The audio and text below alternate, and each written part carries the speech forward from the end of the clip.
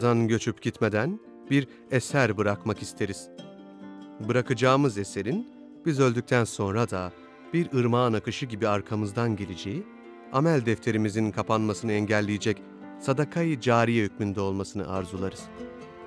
Tıpkı Allah rızası için yapılan bir cami gibi. 80 yaşındayım. Ama bu inşaatların başına gelirken sanki yaşın 40'ı siliniyor benden. Camiler dediğimizde sadece ibadet edilen yerde, ibadetin nasıl edileceğini o camide öğreniyoruz. Evlerinin yakında cami olunca Allah'a ibadetlerini daha bir kaliteli, daha bir huşu içerisinde yapmak için camiyle haşir neşir eda ediyorlar. Ben 4-6 yaş aşmazsam, hocam olmazsa, biz gençliği nerede aydınlatacağız? Nerede okutacağız? Bir hayır yapana yani 1 lira verene ben 10 lira veririm diyor. Mahalledeki bayanlara çok çok büyük bir katkısı oldu. Sultanana halkı birbirinden yarışır derecesinde eee, o kadar yatırımı bitirdi şükürler olsun. Nefsini hayr ile meşgul etmezsen, o seni şer ile meşgul eder diyor İmam-ı Şafi. Yaptığı her işi önce Allah rızası için yapan Rıfat Ağır da bu sözün peşinden gidenlerden. 1941 doğumluyum. Burada doğdum. Genellikle ömrüm çoğunluğu burada geçti yani burada. Bu Sultanahmet'te, işte Aksaray'da. E, işte hayatımızda e, tabii çocukluğumuz burada hep e, babamızın, annemizin yanında devam ettik. Ondan sonra işte şöyle diyeyim, çalışmalarımız önceleri tabii burada köyde hep çalışmalarımız aynı devam etti. Çiftçilikle şöyle böyle. E, ondan e, sonra bir gençliğimde, çocukluğumda bir berber yanında çalıştım kalp olarak bir süre. Askere gittim. Askerde geldikten sonra böyle bir ticari hayata alıştım, atıldım. Rıfat Ağır birçok farklı coğrafyada bulunur gençliğinde ve helal kazanç için ter dökülen yıllar hızla akıp gider. Ardından döner Selçuklu kültürüyle yoğrulan Aksaray'a. Buradan ihracat, ithalata kadar yükseldi. Mersin'den, Adana'dan hep ihracatlar yaptım. Lübnan, Beyrut'a. Sonra döndüm Ukrayna'dan büyükbaş hayvan İstanbul'a ithal ettim. Dışarıya ihraç ettim önce, sonra ithal ettim. Öyle bir 80'lere kadar devam etti. 80 yıllarına kadar. Ee, işte hayatım böyle geçti ama bu hayatımızda kendimizi hani böyle bir övmüş olmayalım. Çok dürüst olarak çalışmaya böyle özen gösterdim. Elhamdülillah kimseyle bir sıkıntım olmadı.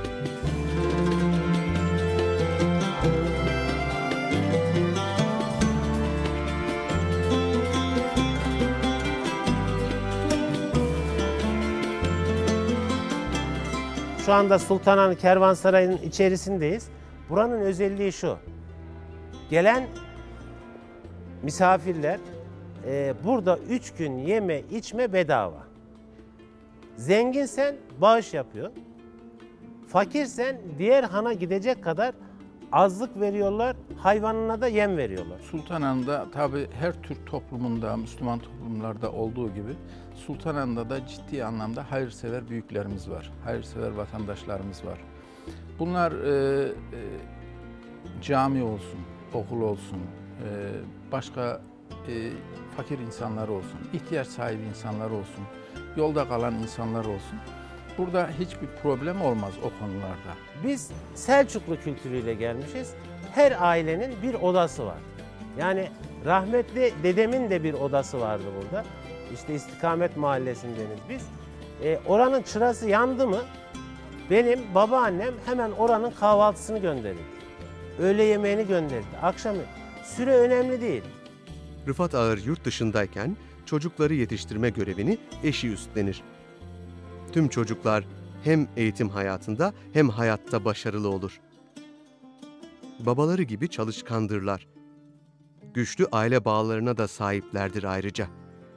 Ben o dışarıda hep böyle bu işleri dışarıda yürüdürken hanım hep o ilgilendi. Çocuklarla çok güzel terbiye yaptı, çok güzel yetiştirdi. O zamanı okumalarını, ortaokul liselerini bitirdi. Hepsi de yetiştirdi. Üniversiteye kadar gidenler oldu, okuyan oldu. Kızımız üniversiteyi bitirdi. Bir kısmını hala son zamanda dışarıda puanla, iyi puanla bitirdi. Son zamanda tabii e, vefat etti. Allah rahmet eylesin. Bir amansız hastalığa yakalandı. İki ay, iki, üç aya vardı varamadı. Çok çaresi uğraştıysak da tabii ömrü bitmiş gitti. Allah rahmet eylesin. Çocuklar bana dediler baba şöyle böyle. Ben bir üç ay, iki ay, üç ay hanım gittikten sonra bir eve çekildim bir defa bir defa dışarı çıkmadım. Yani ben de böyle bir hal oldu. Kapıyı örttüm kimse çıkmadı. Evden dışarıya çıkmadım. Yıkıldım. Yani nasılsa evden dışarıya çıkmadım. Hiç çıkmadım. Burada ev, eve çekildim. Üç ay çıkmadım. Çocuklar bir türlü beni götüremediler. Geldim. Ne yapacağız? Baba böyle olmaz. Baba öyle olmaz. Baba bu yanlış. Baba bu senin gidişatın doğru değil. Beni iknaya hep çalıştılar. İşin başına dönelim. Seni götürelim. Hangi çocuğu, hangi oğlun, hangi kızın yanında daha rahat diyorsan oraya gidelim. Ya birimiz evin içine gel. Yok oğlum ben böyle yaşama istiyorum. Yok olmaz. Nihayeti baba sana bir hanım bulacağız, vereceğiz seni. Başka böyle olmaz dediler. Olmaz, o da olmaz. Dirken kısaca astırdılar, ısrar ettiler. Kızlar, oğlanlar hepsi de el birliğiyle. Ben dedim ki oğlum benim bir şartım var. Annenin çok emeği var. Hepinizi annen sizdi, benden fazla yetiştirdi. Onun için onun emeği daha farklı sizin üzerinizde. Ben ona bir şey yapmak istiyorum. Bir, ne yapalım, nasıl yapalım baba, ne istiyorsun? Ben bir cami yaptıracağım. Muhteşem bir insan. Muhteşem bir insan. Rıfat amcanın ben e, ismini verdiği Şerife Hatun, e, Şerife yengemizi de çok iyi tanırdım. Beni de çok severdi. Ondan sonra e, Allah onu e, mekanını cennet etsin. Rıfat amca daha önceden de kendi evinin yanında bir e, cami yaptırdı. Daha sonra e, başka bir mahallede de ciddi manada katkısı olduğu, oraya da önderlik yaptığı bir ikinci cami yaptırmış oldu. Daha sonra Allah rahmet eylesin hanımı vefat ettikten sonra da ilçede herhangi bir yere hanımı adına, hanımının adını vereceği bir cami yaptırmak istedi. Bendeniz'de ve şimdiki mevcut belediye başkanımız Fahri Solak Bey'de ve ilçenin ileri gelenlerinden 3-5 kişi daha aldık. Bu Rifat Ağar Hacı Efendi'ye vardık. Hanımı da vefat etmişti yakında. Daha oraya da başlamamıştı. Dedi ki sizin böyle bir niyetiniz var. Gelin bu camiyi buraya yapalım. İsmin de Meydan değil de eski ismi Meydan Camisi'ydi. Şerif Hatun Camisi yapalım. Adamcağız yani bizleri kırmamak için e, alçak gönüllükle dedi ki ya bana başka bir teklifte bulunun. Bunda ısrar etmeyin dedi. Acilde işte mimar hemen geldi. Ertesi gün plan, proje başladı. Elhamdülillah. E geldim burada çok seve seve hemen bahçe duvarını bir kişiye, lojmanını bir kişiye, bir camiyi bir kişiye, minareyi bir kişiye bunlar herkese ayrı ayrı ustalara verdim. Kendim de başında burada devamlı bulundum. Aydın da geldi gitti yanımızda oldu. Her bir e, noksan olduğunda Aydın'ı çağırdım. Geldi Allah razı olsun çocuklar. Çocuklar hep yardımcı oldular. Hepsi birden hiç karşı çıkan olmadı. Yalnız sen baba nasıl istiyorsan öyle olsun. Sen nasıl kendini koru, nasıl istiyorsan öyle olsun. Sen nasıl yapmak istiyorsan öyle olsun. Hiç karşı çıkan harca olsun yaptır bir daha yaptır bir daha yaptır istiyorsan öyle bir hiç elhamdülillah karşı çıkma durumları falan olmadı. Yeter artık bu veya da şöyle olsun böyle olsun diyen olmadı. Seve seve onlar da geceyi gündüze katarak bana destek olarak burayı elhamdülillah Altay'a varmadan açtık. Hanıma da bunu hediye ettik.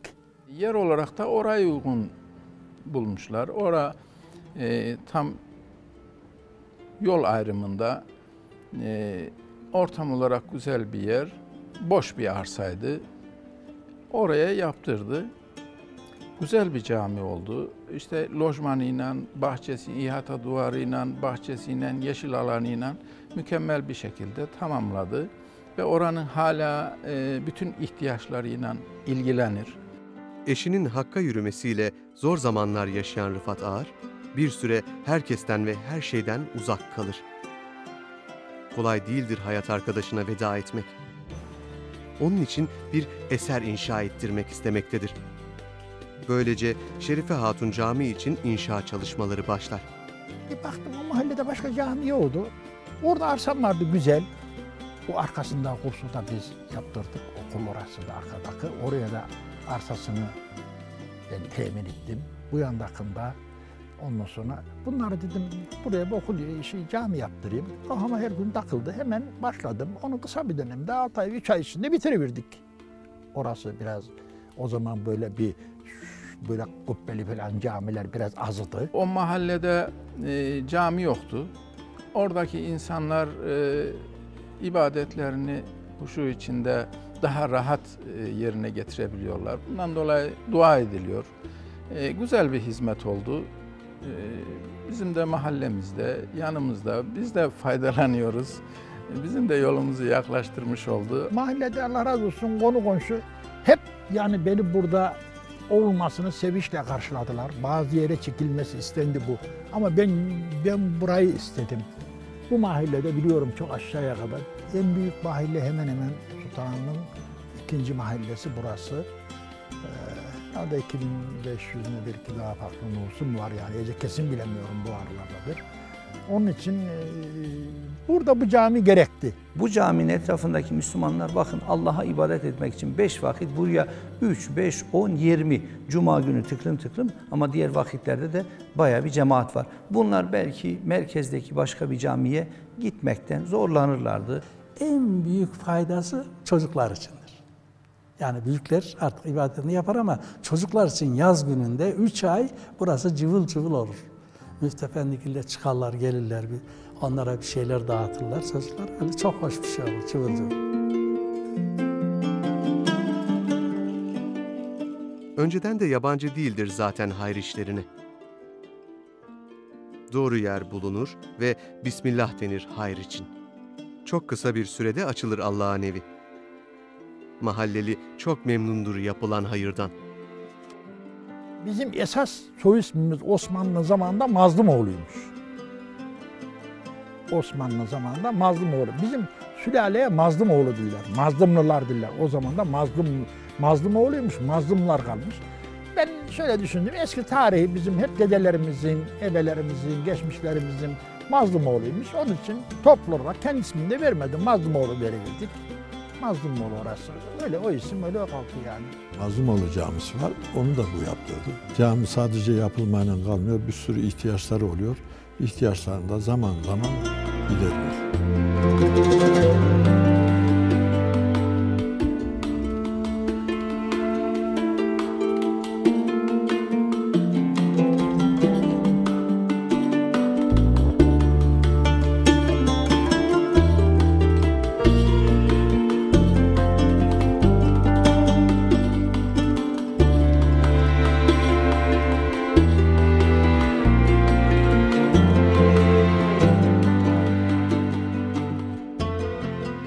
Camide, o camide oraya da Cumhuriyet Cami olarak verdik, yeni cami olarak. Cumhuriyet Mahallesi'nde yeni cami olarak verdik. E, onu da arkadaşlarla beraber, herkes beraber orada katkı oldu. Ben kendi ismime çekmek istemedim. Arkadaşlar bunu buraya ayrı bir isim verelim. Burada bazı arkadaşların katkıları oldu. Onu da sanki biz kendimiz yapmış gibi, sanki bunu kimsenin katkısı olmamış gibi olmasın dedim. Ben kendi öyle vermek istedim. Öyle oldu. Arkadaşlar da kabul etti. Tamam dedik. Cumhuriyet'te var bir tane. Yeni camidiler. Onu da bu yaptırdı ama vatandaştan da ufak tefek yardım oldu ama ağırlığını bu yaptı. Rifat amca işte bugün e, yaklaşık Sultanahmet'e 3 tane cami yaptırdı. Ve e, geçtiğimiz yıl başladı bir hafızlık Kur'an kursu yaptırıyor şu anda. Oranın da yerini verdik. Çünkü ondan sonra da başka hayırseverlerimiz çıkacak. Şimdi ona bir de okul üzerinde duruyorum ben. Ya bir de okul yaptır ya üç tane cami yaptırdın. E, caminin yolu da okuldan geçer. Cahil adam gelir mi? Gelse ne yapacak ki? Okumasını bilmez, kılmasını bilmez. Hiç olmazsa okur yazar olursa öğrenir veya kitapları karıştırır. Okul yaptır dedim buna. Hocam şöyle bir şu kursu bir teslim edeyim. Ondan sonra görüşelim dedi. İnşallah öyle de bir şey e, yapacak gibi. okul yaptırmaya gidiyordum. Müftü Beylik'te bir işim vardı Aksaray İl Müftü Bey'inde. Müftü yanına uğradım. Müftü Bey bana dedi ki Hacı ne yapıyorsun işte bizim okul işi vardı ona bir imza vereceğim. Okula gelip başlayacağız. Aydın'da benim yanımda küçük olan, mimar olan.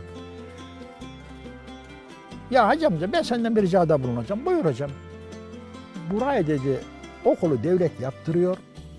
Burayı gel bir yatılı okul yaptıralım.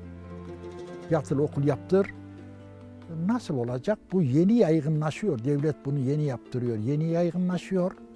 Bu hafız okul olacak.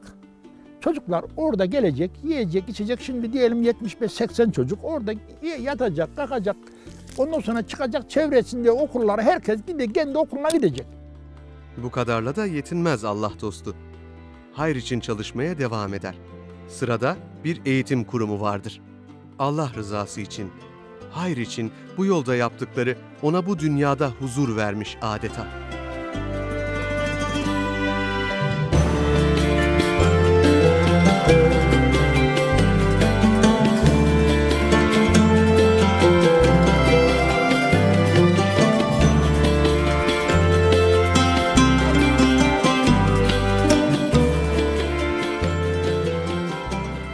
Başka hayırseverlerimiz çıkacak. Aynı dediğiniz gibi okuldur.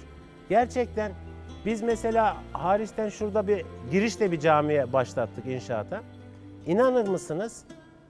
Ee, ben onu diyorum mendil açmadan yani hiç kimseden bir şey talep etmeden cami bitti. Yani bunlar hakikaten güzel şeyler. Çünkü biri diyor "E, başkanım ben minaresini yaptıracağım. Öteki diyor ben e, betonunu vereceğim. Taş işçiliğini ben yaptıracağım filan. Halısını ben yaptıracağım. Gerçekten e, Sultanana halkı birbirinden yarışır derecesinde e, o kadar yatırımı bitirdi şükürler olsun. Biraz da buraya yatırım yapalım ahiret için dedik. Buraya sağ olsunlar. Konu komşunun destekleri de oldu. E, buraya bir güzel 4-6 yaş ana sınıfı, Kur'an kursu genç. Camimizi, lojmanımızı inşa ettik. E, mahallemizdeki 4 yaş çocuklar geliyorlar. Burada bir şeyler öğreniyorlar. O da bize mutluluk veriyor.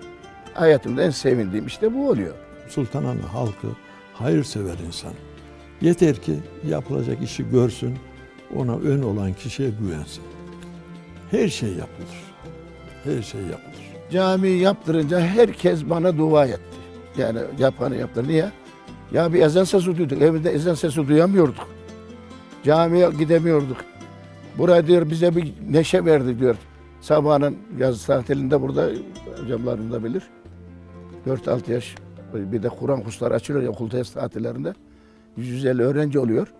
Bunu anneleri getiriyor gidiyor. Bizim çocuklarımız burada bir besmeleyi öğrensin. Allah'ın ismini öğrensin. Duayı öğrensin. Yeter senin yaptığınız dualar, hayırlar bize çok herhalde dua ediyorlar.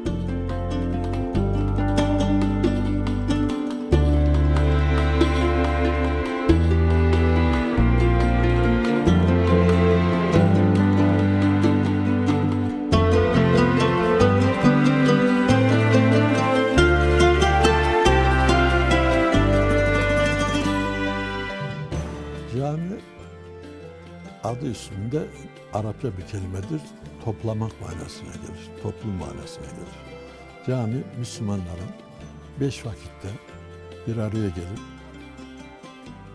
Rabbimize karşı görevini birlikte yapmaları, aynı safa durup, aynı diz çöküp, aynı el açıp, aynı bir boyun eğip Rabbimize yalvardığı bir yerdir.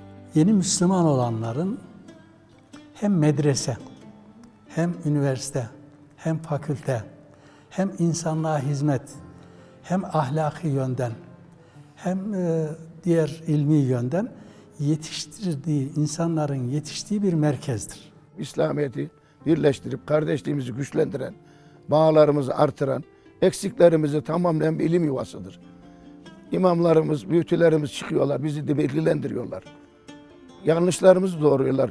Daha buradan güzel yer bulabilir miyiz? Toplumun birbirlerinden haberdar olmasıdır. Toplumun birbirlerinin derdine dertleşmesidir. Toplumun birbirlerini tanımasıdır. Komşuyu öyle bana Cibril tavsiye etti ki zannettim ki komşuyu komşuya mirasçı kılacak. Hadisin açıklamasında Fethül Bari'de ve birçok hadisin açıklamasında komşu kimdir? Aynı camiye gelenlerdir diyor. Kur'an-ı Kerim'de e, bizim ilk emri bize oku, ikra, onunla başla. Okumanın da mutlaka bir binaya ihtiyacı vardır. Peygamberimiz Aleyhisselatü Vesselam Mekke döneminde mağaralarda kıldılar toplu namazlarını. Evlerde kıldılar, Darül Erkam'da kıldılar. Ama müşriklerin şerrinden emin olamadılar. Nihayetinde hicret emri geldi, Medine'ye geldiler. Medine'de ilk defa Resulullah Efendimizin kurduğu bina mescittir.